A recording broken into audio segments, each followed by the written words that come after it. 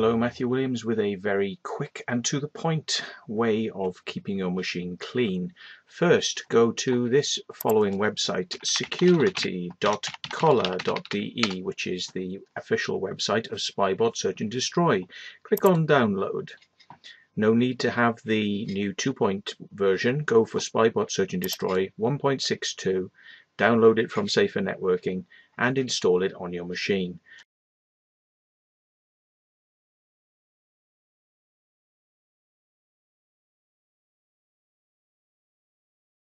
When you have it installed on your machine, it'll look a little something like this.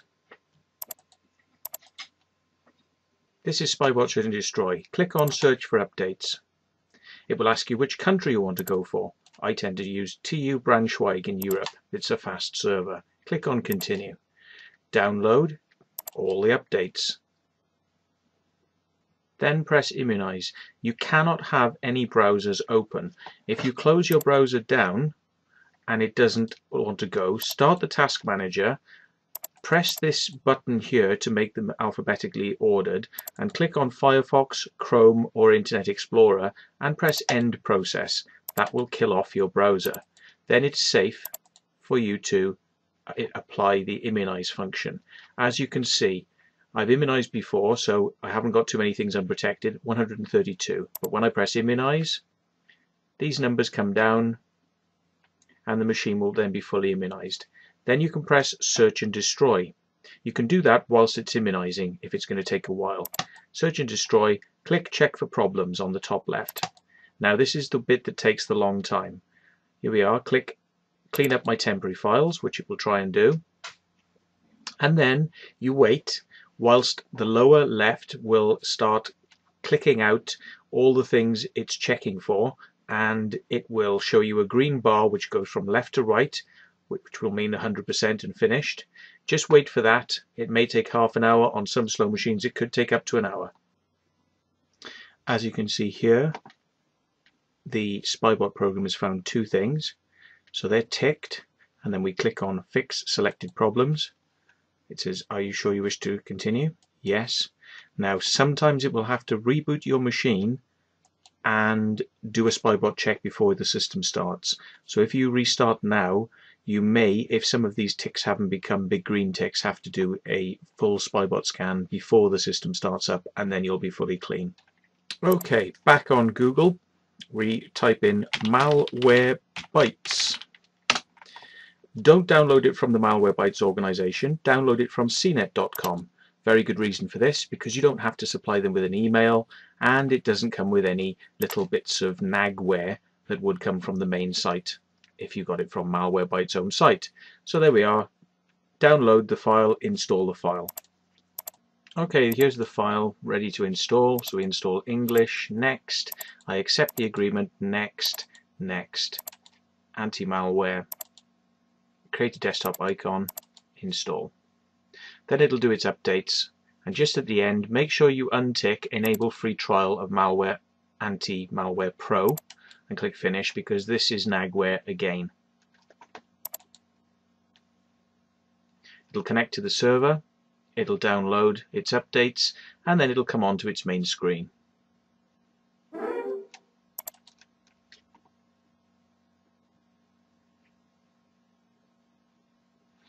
Now you have three choices Quick scan, full scan or flash scan.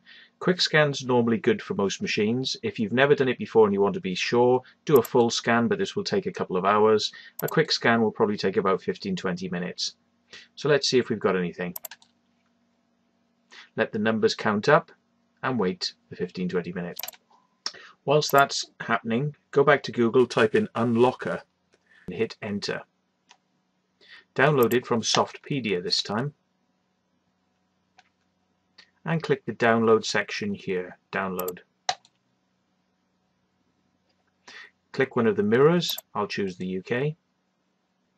Click save file, save it somewhere on your hard drive. When that's ready, click install, next I agree, uh, then choose advanced because you do not want, go back, click advanced and untick the Delta toolbar. You do not want the Delta toolbar. Okay? Click Next, click a knocker, a Locker, and it should be installed. Okay, now how to clean your machine. Open your My Computer and say Computer. Go to the C drive, which is your main hard drive. Go to your users and go to the name of your user. Go to App Data, Local, Temp. Highlight everything in this folder, hold down the Shift key and press Delete. This will delete the items without them going into your recycle bin. If it finds anything that it cannot delete, tick this box that says do for all current items and skip. Everything that's left behind are things that cannot be deleted because they're in use by the system. We'll come back to this later on. Go to this C drive, go to Windows, scroll down to the temp folder highlight everything or press Ctrl A. Hold down the shift, press delete to permanently delete and press yes. And skip it, anything it can't do. I'm not a great believer in the use of System Restore, so go to the control panel and turn System Restore off. Uh, system Restore can sometimes get your system back, but most of the time it just causes more damage by reverting to a bad copy of the operating system which has some still bad files in it. So go to Advanced System Settings, System Protection, go to the C drive, Configure, and turn off System Protection. It will warn you, say OK. Then, to avoid the nagging screens that keep on going, are you sure, are you sure, are you sure, come to the control panel and go to Users, User Accounts. Go to change user account settings and this will probably be here for you but you dial this little bar down to the bottom which says never notify. Click on OK and then it's time to reboot your system getting rid of the system protection which will allow you to turn back time which is kind of like a backup but it's a backup that doesn't work very well um, getting rid of that will recover hundreds of gigabytes in some cases of data space on your hard drive. So if you're getting low on space, do that and then turn it back on.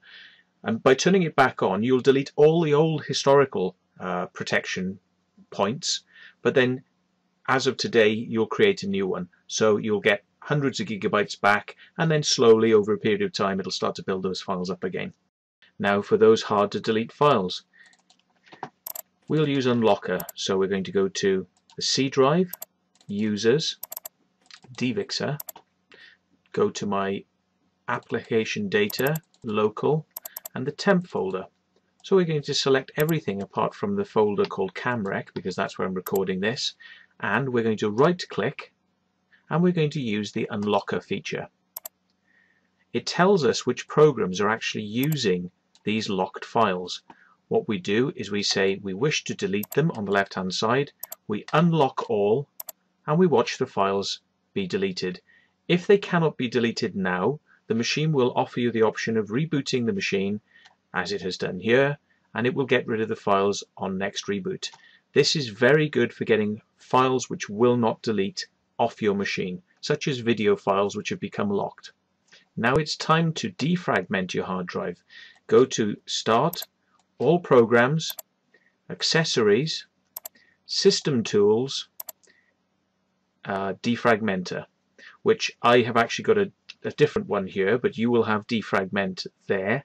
I have a program called Diskeeper 2011, which is a very good piece of software, and you can then defragment your hard drive. Follow the instructions accordingly, but for me, it looks like this. Diskeeper starts, and I decide which hard drive I'd like to defrag. I right click and I do optimize which is to defrag the hard drive. For you it'll probably just be select the drive and press defragment. This takes a long time. It's best done at night and come back to your machine in the morning. Now how about those nagging programs that start when this machine starts, such as Skype and various other things? Go to the start bar and in the box here type in msconfig. If you're working on Windows XP, go to the start bar, click Run, and in the Run box, do the same thing, msconfig, msconfig, click Enter. Now, do not touch anything in the General tab, anything in the Boot tab, anything in the Services tab, only go to the Startup tab. Move these bars along so you can see where the programs are and what their names are. It will help you to understand what you're about to start or stop. Most of these that are ticked here can actually be unticked and the system will start fine. Although I take no responsibility for that, it should be okay. Um, always keep things like antiviruses active. Um, Anti-spyware programs do not have to be active, but an antivirus will.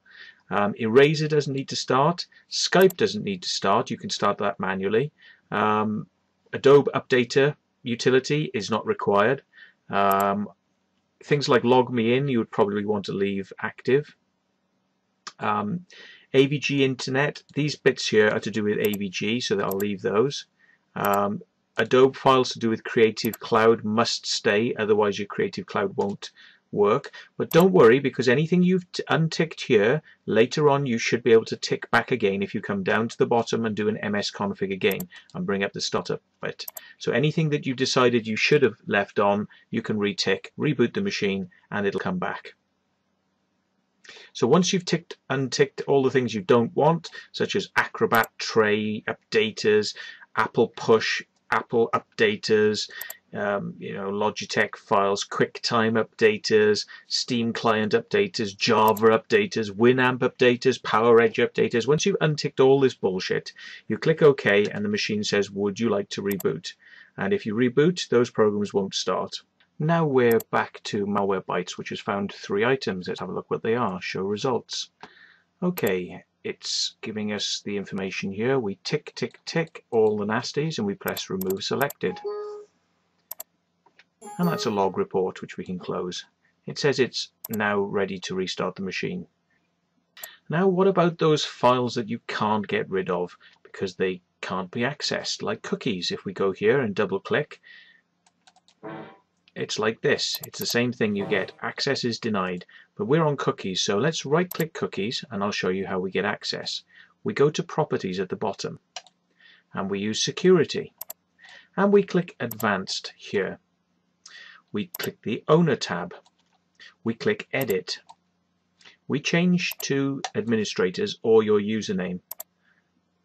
Click on replace owner on subcontainer and objects. Click, click OK then click OK, OK, and come out of the... Now click on Cookies, do Properties again, go to Security, and under Administrators, all these should be ticked. If they're not, click Administrators, click Edit, click all the tick boxes here, Full Allow, click OK, click OK. Now that should allow us to look in the Cookies folder, which you've never been able to do before. Click Everything, right-click, click Delete, click yes. Now a tip for some of you who get these annoying screens which take over your startup screen. So instead of getting Google, you end up getting something else. And when you click on New Tab, you get something else again. Go up to the address bar at the top and type in About semicolon config and press enter. It warns warns you that this is dangerous and you should know what you're doing. Click I'll be careful, I promise. Scroll down to browser. Scroll down until you see browser new tab URL. Double click the file and type in here http colon slash slash www.google.com or .co.uk and hit enter. That will change this and then when you click the new tab you'll get the new tab that you want which will be Google. To change the default opening page which is your home page this one go up to File Tools Options go to the General tab and either type in http semicolon slash slash www.google.co.uk or click use current pages. And that will change the way that when you press home which page you go to. You can have three search pages come up at once if you wish but if you have several selected when you press the use current pages several will reopen. So it might be easier for you to type in www.google.com